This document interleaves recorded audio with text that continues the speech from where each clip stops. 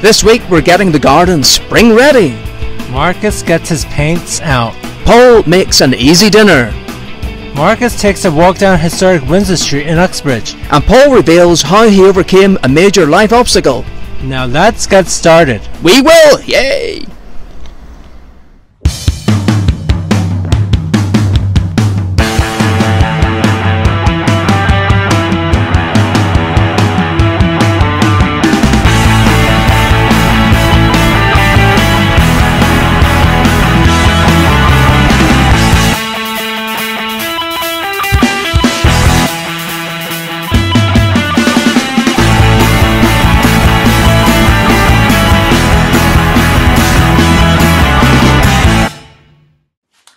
Are you hungry for dinner right now? I know I am. Okay, so for tonight's menu, we have 600 grams of chicken thighs, which I marinated with salt and pepper, um, aubergine, asparagus, and lovely chips that we will deep fat fry later. So why don't we get started? Okay, so I have the wok going, um, and we are going to put it into the wok. Uh, let's have it on first. So we put it skin side down first, like so. It will make a sizzling sound. That's exactly the sound you want to hear. And now we could crank up the heat.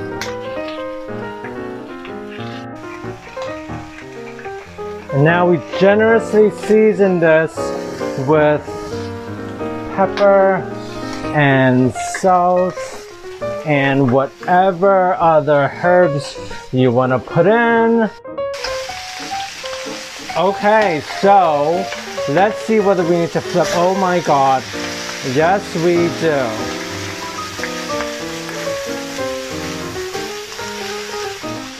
So right now I just flip the chicken thighs and I will put it on this baking tray and put it into the convection oven for about 25 minutes for for 180 degrees.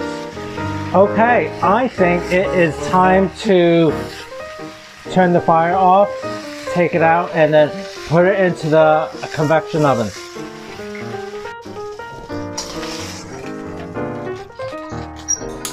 Okay, I am whisking the eggs for the aubergine and then I'm going to dip it in flour and then the breadcrumbs and then I'm gonna put it into the deep fat fryer.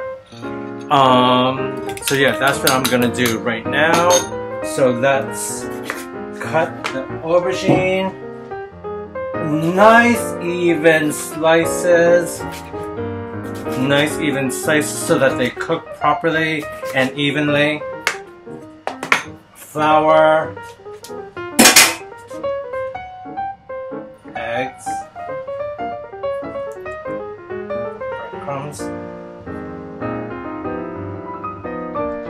Okay, now I am cutting off the asparagus and only using the tender parts.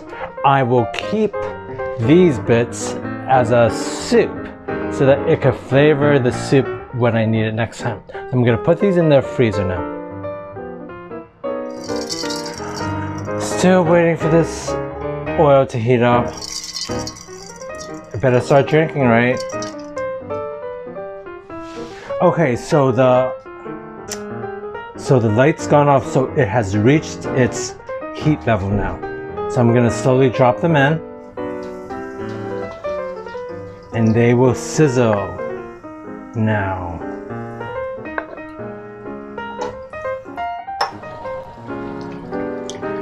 This aubergine is loving the oil.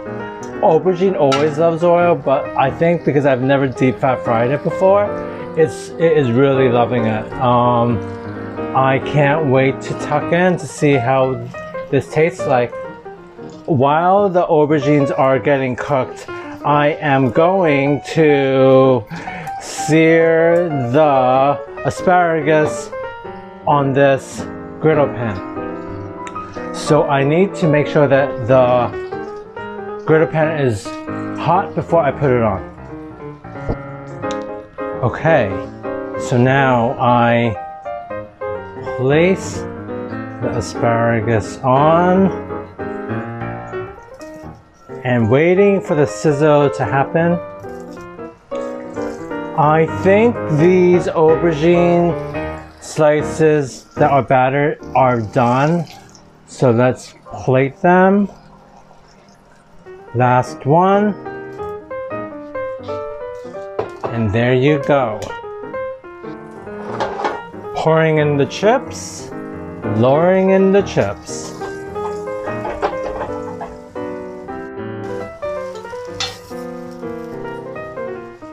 Okay, I think that these asparagus tips are done. So let's plate them on a plate.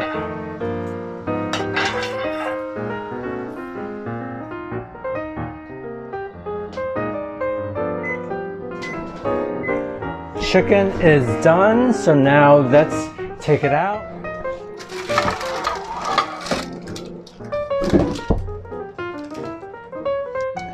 So now let's plate the chicken.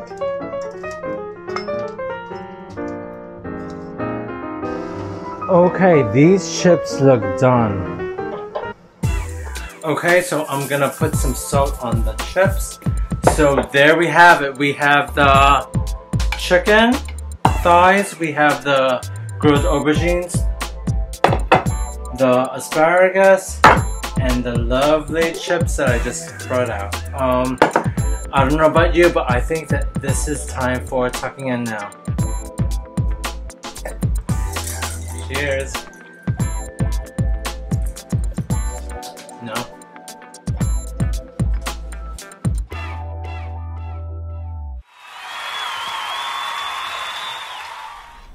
It's a big week in Rotterdam as the Eurovision Song Contest rolls into town. The semi finals take place on Tuesday and Thursday, leading up to Saturday's grand finale. We have a Eurovision special next Saturday, so please join us then.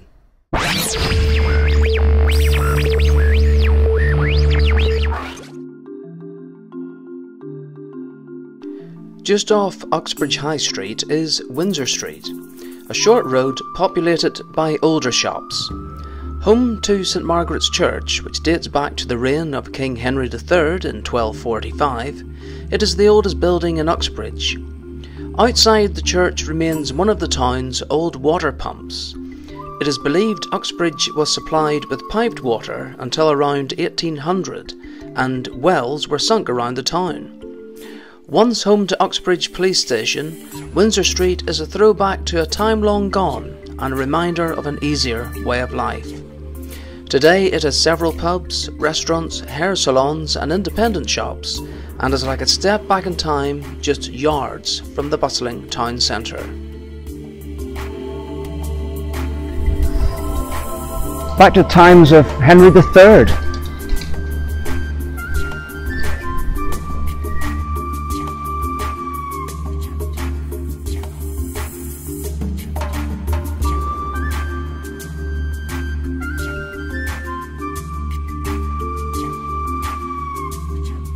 Walking down Windsor Street, you know, it really is like a step back in time.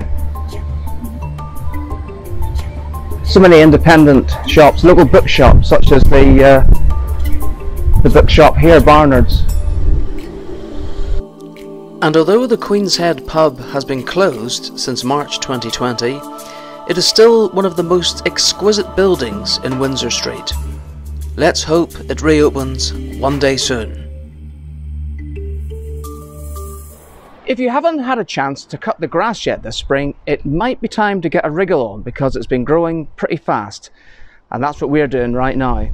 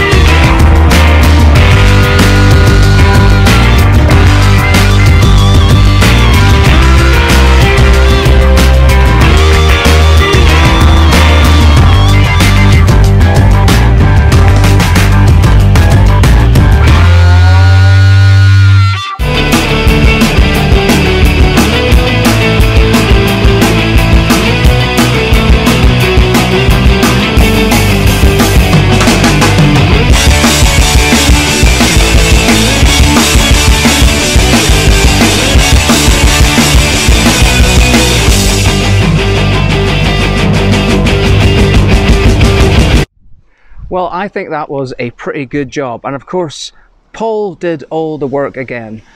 Well, someone had to work the camera, didn't they? Okay, that's a cut.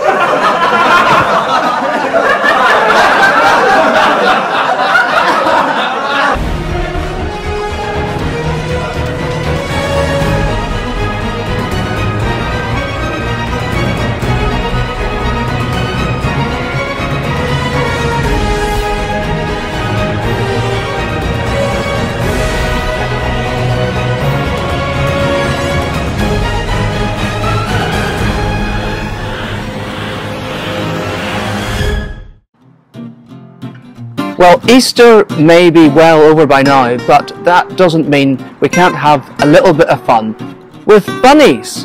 And as you see, two of my friends are with me here today, and they are really in for a treat, aren't you? Well, no response there, but hang on a second until they see what is coming up, because today I have got some rather special, they're not pens as such, they're, well, they're sort of like icing, icing pens, if, if you like. So today we're going to be icing bunnies. Now, not to worry because it's not you. No, no, no. We're going to be icing gingerbread bunnies. Okay, so we've got a selection of black, yellow, red, and white, and it's basically just a matter of having a little bit of fun. So we'll take one bunny out like that, and oh, I I've got a feeling that I want to give give this one red eyes. Where do you think the eyes should be? Around about around about here, perhaps. So let's ooh, let's start.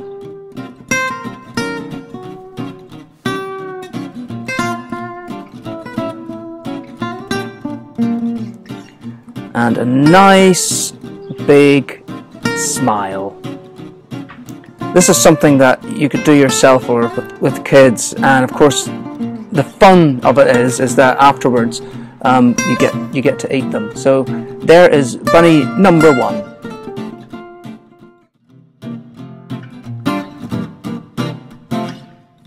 Let's be a little bit more adventurous this time. I've got a feeling this bunny wants to wear a black hat, so we're going to go like like this and get lots of the the black icing all over the top of this bunny's ear.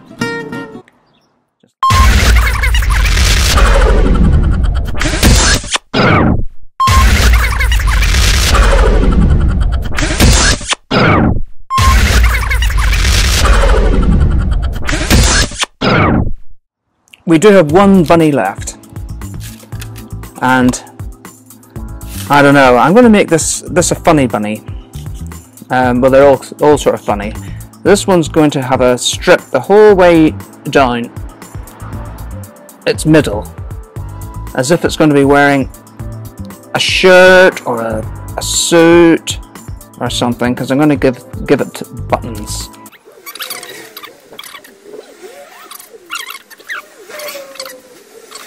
So that's looking pretty good, I think. And the first one, uh, it looks pretty basic, so there's only one thing to do, and that's to uh, break it off and tuck in. Mmm! Delicious!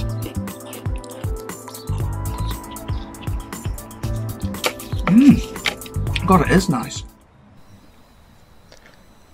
Stuttering affects 70 million people worldwide.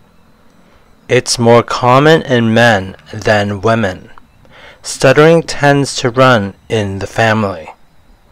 Public figures that have had stuttering include King George VI and U.S. President Joe Biden.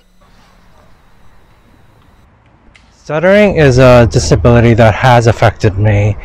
I had the stutter for a very long time since I was in childhood. I first received treatment for stuttering when I was 13 and it lasted until I was about 18 years old. I hated the feeling of it. I was made fun of in school. I was made fun of at home by friends, by family. It isn't something that I would um, want anyone else to experience.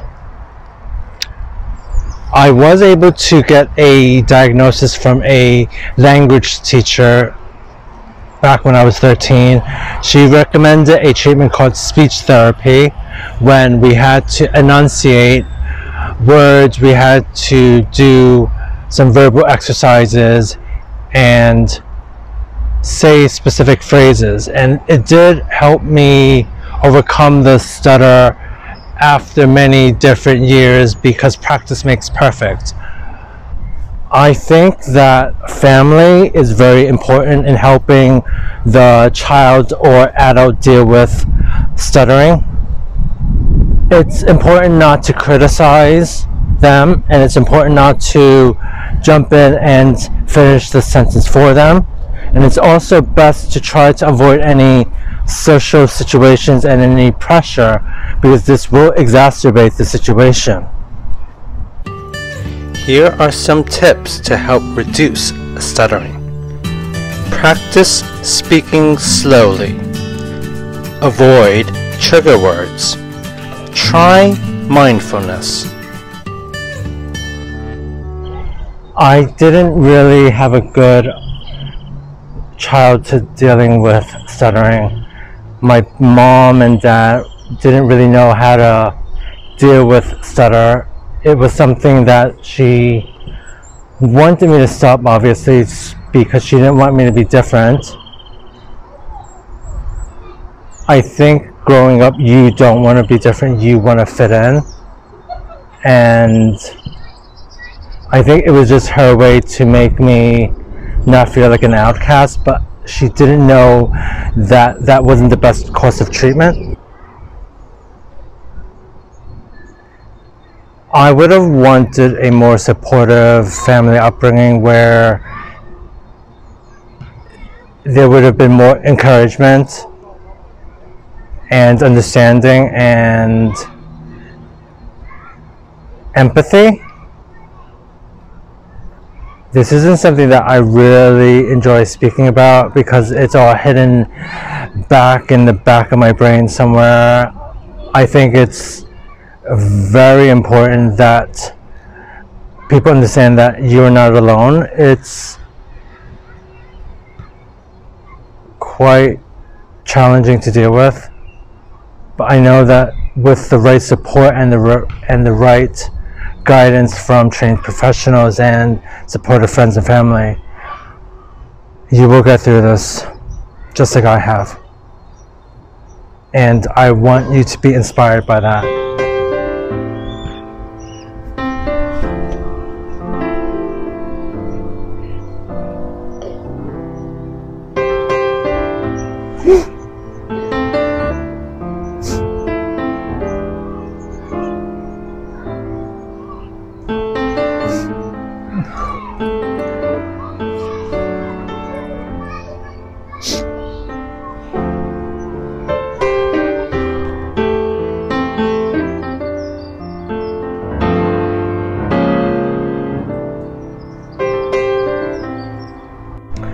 There can be dark times, especially when you are stuttering. You don't know how long you will be afflicted by this.